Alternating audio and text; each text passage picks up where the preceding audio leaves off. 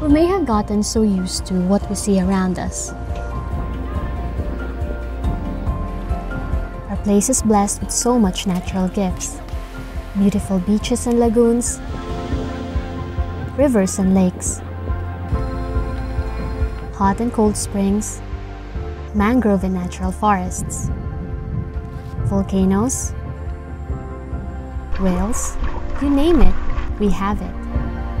Behind every historical site, we have so many beautiful stories to share. These stories keep our culture and heritage alive.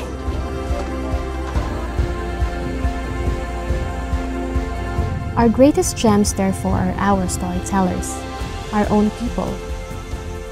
Imagine if we could bring home friends from different parts of the country, of the world. Gather them around a table full of local food, grown and harvested from our abundant seas and farms. Our communities will help make every guest feel at home, safe, and secure. It's time for every ordinary Sorsogano to take active part. It's time for us to let others experience Sorsogon. It's time for Sorsogon to soar.